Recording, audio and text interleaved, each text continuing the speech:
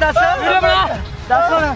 ਉਹ ਨਹੀਂ ਉਹ ਨਹੀਂ ਲਾਣਾ ਭਰਾਵਾ। ਚੱਲ ਨਹੀਂ ਬਣਾਣਾ ਨਗਾੜ ਲੱਤਾ ਕਰ ਕਰ ਨਾ ਜ਼ਿਲ੍ਹਾ ਗੁਰਦਾਸਪੁਰ ਦੇ ਥਾਣਾ ਘੁੰਮਣ ਕਲਾ ਅਧੀਨ ਪੈਂਦੇ ਪਿੰਡ ਭਗਤੂਪੁਰ ਦੀ ਇੱਕ ਹੈਰਾਨ ਕਰ ਦੇਣ ਵਾਲੀ ਘਟਨਾ ਸਾਹਮਣੇ ਆਈ ਹੈ। ਇੱਥੋਂ ਦੇ ਰਹਿਣ ਵਾਲੇ ਇੱਕ ਨੌਜਵਾਨ ਨੂੰ 10 ਵਿਅਕਤੀਆਂ ਵੱਲੋਂ ਨੰਗਾ ਕਰਕੇ ਨਾ ਸਿਰਫ ਉਸ ਦੀ ਬੁਰੀ ਤਰ੍ਹਾਂ ਕੁੱਟਮਾਰ ਕੀਤੀ ਗਈ। ਸਗੋਂ ਇਸ ਕੁੱਟਮਾਰ ਦੀ ਵੀਡੀਓ ਵੀ ਬਣਾਈ ਗਈ। ਕੁੱਟਮਾਰ ਦੌਰਾਨ ਹਮਲਾਵਰਾਂ ਨੇ ਪੀੜਤ ਦੀ ਵੀਡੀਓ ਬਣਾ ਕੇ ਵਾਇਰਲ ਵੀ ਕਰ ਦਿੱਤੀ। ਉਹਨਾਂ ਦੱਸਿਆ ਕਿ ਪੁਲਿਸ ਨੇ ਅਰਜੀਤ ਸਿੰਘ ਦੇ ਬਿਆਨਾਂ ਦੇ ਆਧਾਰ ਤੇ ਬਾਈ ਨੇ ਤਿੰਨ ਨੌਜਵਾਨਾਂ ਸਮੇਤ 10 ਲੋਕਾਂ ਦੇ ਖਿਲਾਫ ਪਰਚਾ ਦਰਜ ਕੀਤਾ ਹੈ।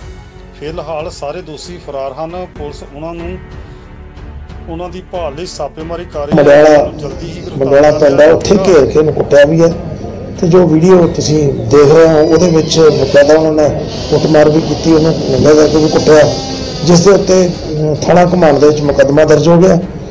ਉਹ ਜਿਹੜੇ ਵਿਅਕਤੀ ਨੇ ਉਹਨਾਂ ਦੇ ਜਿਹੜੇ ਤਿੰਨ ਬੰਦੇ ਬਾਈ ਨੇ ਨੇ ਇੱਕ ਤਾਂ ਬਰਿਆਰਾਂ ਦਾ ਬਾਕੀ ਸਾਰੇ ਘਮਾਣ ਦੇ ਨੇ।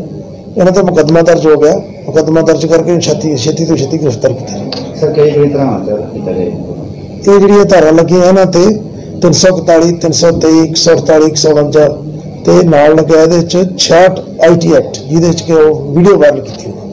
ਸਰ ਕਿੰਨੇ ਨੌਜਵਾਨਾਂ ਦੇ ਪਰਚਾ ਦਰਜ ਹੋਇਆ ਤੇ ਕਿੰਨਿਆਂ ਨੂੰ ਗ੍ਰਿਫਤਾਰ ਹੋ 10 ਤੇ ਪਰਚਾ ਦਰਜ ਹੋਇਆ, ਹਜੇ ਕੋਈ ਵੀ ਗ੍ਰਿਫਤਾਰ ਨਹੀਂ ਕੀਤਾ, ਰੇਡ ਕੀਤੇ ਨੇ।